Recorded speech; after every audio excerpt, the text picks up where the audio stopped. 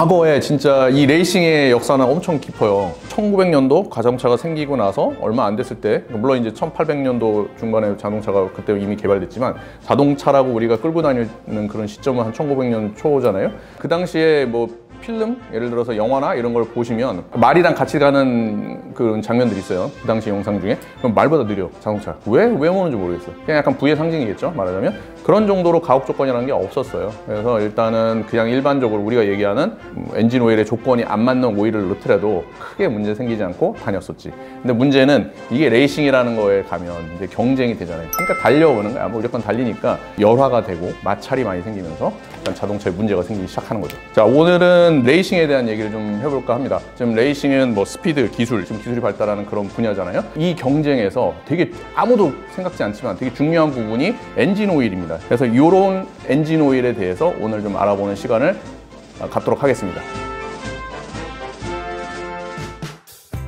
1930년대 쪽에 이제 한번 가볼게요. 프랑스에 르망 24시라는 그런 레이싱이 있습니다. 이거는 되게 가혹 조건으로 24시간 계속 달리는 거예요. 지금도 있어요. 쉬지 않고 달려야 되기 때문에 엔진에 엄청나게 무리가 갈 수밖에 없어요. 전체적인 부품에 대한 스트레스가 엄청나게 강하게 되죠.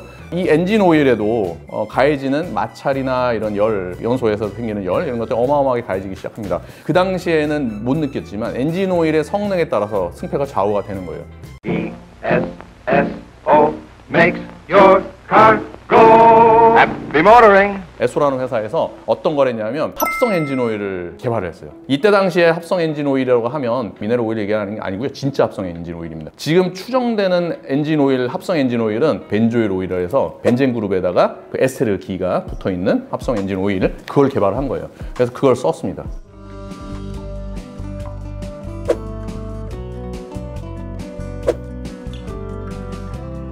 우승을 하게 됐어요. 아무도 그 당시에는 이걸 썼을 거라는 생각도 못한 거지. 성적에 좌우하는 그런 기술이지 않습니까? 그래서 이제 이것들을 찾아내기 위해서 다양하게 스파이 활동, 그런 기밀을 빼내기 위한 여러 가지 활동이 있었고 그 이후에 실질적으로 어, 많은 기술 개발이 이루어졌습니다. 근데 어, 벤조일 오일은 일반적으로 쓰이진 않았습니다. 비쌌어요. 그 당시엔 비쌌기 때문에 이거를 그냥 일반 엔진 오일로 쓰기는 불가능합니다. 하지만 이런 상징성, 우승했다고 하는 것 자체는 어마어마하게 대단한 홍보 효과입니다. 실질적으로 여기에 어떤 엔진 오일이 들어갔다는 것을 알리게 되면 그 굉장히 브랜드 가치가 확 올라가잖아요. 레이싱에 썼던 엔진 오일, 즉 그 브랜드가 에소라는 브랜드다. 그래서 그런 것들을 알렸던 거죠. 사실 요즘에는 다 이제 튜닝을 어디까지 하면 안 되고 막 다 규정 조건이 있습니다. 예전처럼 막 엔진 오일을 어마어마한 것을 넣어갖고 막 그렇게 할 수는 없어요. 지금은.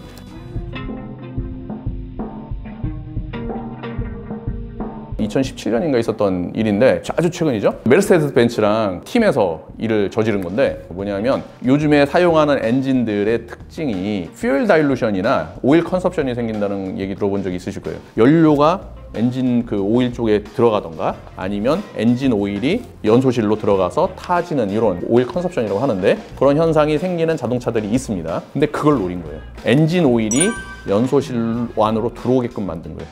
그러면 엔진 오일 자체에 연소할 때 boosting 역할을 하는 성분을 넣어서 연소를 하게 되면 실질적으로 boosting이 되잖아요.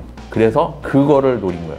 엔진 오일에 출력을 강화시킬 수 있는 그런 물질을 넣어서 사용한 거예요. 그래서 난리가 났겠죠?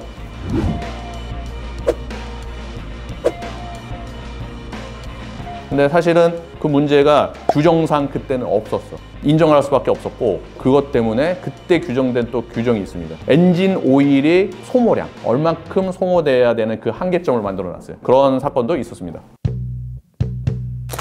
앞으로 우리 레이싱도 환경을 생각하자.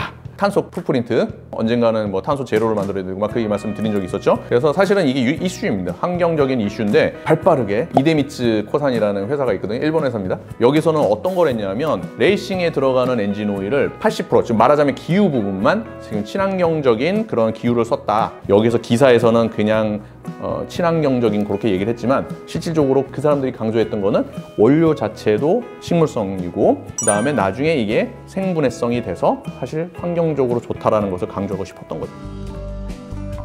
우리는 이제 재미로 보긴 하지만 여긴 어마어마한 기술력이 들어갑니다. 레이싱을 통해서 우리가 그 자동차 쪽으로 개발할 수 있는 그런 획기적인 기술을 많이 도입을 했고 그리고 적용이 돼가고 있고 실질적으로 이 기술들이 현재 우리가 쓰는 기술로도 변형이 돼서 많은 기술 개발, 자동차 기술 개발을 이끌어왔습니다. 레이싱에 들어가는 엔진 오일도 사실 기술 개발이 굉장히 많이 이루어졌고 많은 부분들이 그런 자동차 성능을 높일 수 있는 기술로 변형이 되고 활용이 되고 그렇게 해서 지금 사용하고 있는 겁니다. 자, 오일의 성장을 레이싱이 이끌어왔다 생각하면 됩니다. 즉 우리가 얘기하는 모터 스포츠, 즉 사람들에게 쾌감, 즐거움을 줄 수 있는 그런 산업이었다 라는 것을 말씀을 드립니다. 지금까지 윤활유 박사 닥터 K 김본이었습니다. 다음에 더 재밌는 얘기로 돌아올게요. bye.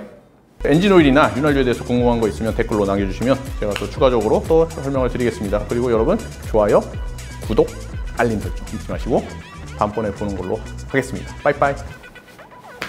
On!